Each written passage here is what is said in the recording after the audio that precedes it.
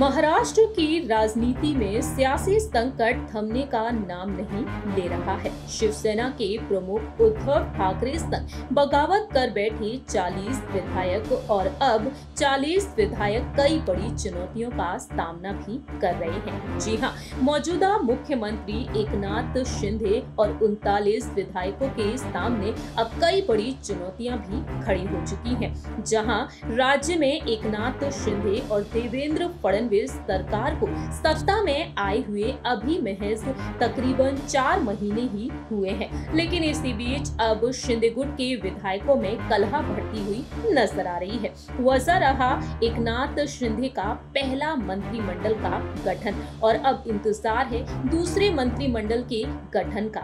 और इसमें इंतज़ार ये किया जा रहा है कि आखिरकार दूसरे मंत्रिमंडल के गठन में किस मंत्री को कौन सा पद दिया जाएगा। लेकिन इसी बीच बीजेपी के साथ शिंदे गुट के विधायकों की अनबन शुरू हो चुकी है। इसी बीच शिंदे गुट के जाने माने नेता ने एक बेहद बड़ा अल्टीमेटम दे दिया है।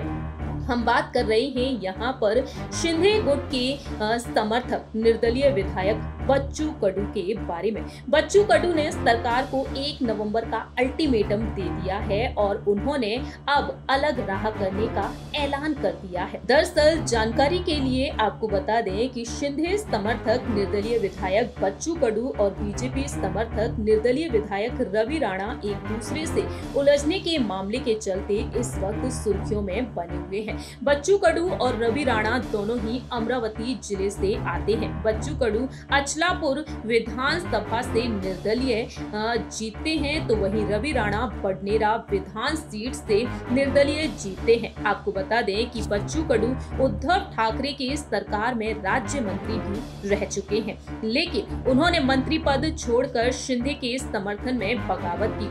और अब बच्चू कडू को जब एकनाथ शिंदे के पहले मंत्रिमंडल विस्तार में मंत्री नहीं बनाया गया तो वह अब अपनी नाराज़गी को ज़ाहिर करते हुए दिखाई दिए हैं। बच्चू कडू का कहना रहा है कि रवि राणा के आरोपों से ये संदेश गया है कि एकनाथ शिंदे ने विचारों के कारण नहीं, बल्कि पैसे और सत्ता के कारण बगावत की।